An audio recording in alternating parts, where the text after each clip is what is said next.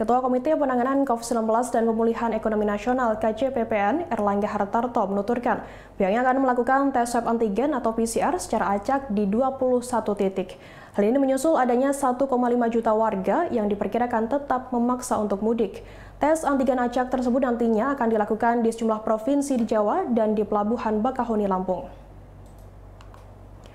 Diperkirakan terdapat sekitar 7 persen atau sekitar 17 juta penduduk yang ingin mudik. Namun setelah dilakukan pengetatan dan penyekatan dalam operasi ketupat dan larangan mudik oleh pemerintah, diketahui masih terdapat sekitar 1,5 juta warga yang tetap memaksa untuk mudik. Erlangga menuturkan pemerintah tetap mengambil langkah-langkah untuk mengurangi mobilitas masyarakat pasca mudik lebaran.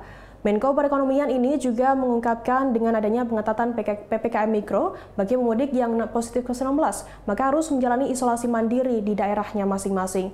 Erlangga menuturkan saat arus balik sudah ada beberapa tempat yang disediakan untuk memonitoring.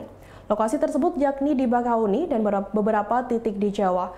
Bahkan pemerintah sudah menyediakan tempat isolasi bagi mereka yang kedapatan positif saat kembali ke Jakarta.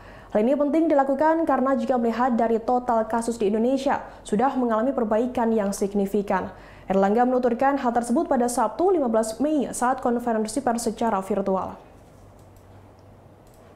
Data dari Pak Menhub nanti bisa dijelaskan dari target dari uh, data awal di mana dikatakan yang uh, mudik 7% itu sekitar 17 juta namun dengan operasi ketupat dan penyekatan-penyekatan yang dilakukan, data dari Kemenhub mengatakan sekitar eh, satu setengah juta yang uh, memaksa mudik, dan ini tentunya kebijakan yang diambil adalah dengan memperketat ppkm mikro, di mana dengan demikian dengan ketatnya ppkm mikro diharapkan mereka yang uh, terdampak ataupun yang dites uh, positif bisa dilakukan uh, isolasi di uh, daerah masing-masing.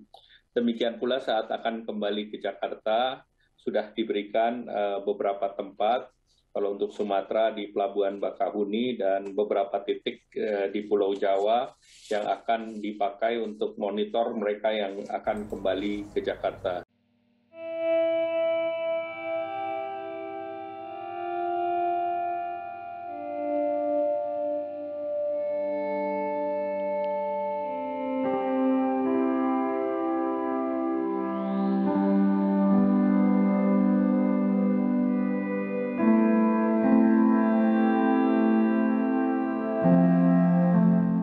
Terima kasih sudah nonton. Jangan lupa like, subscribe, dan share ya.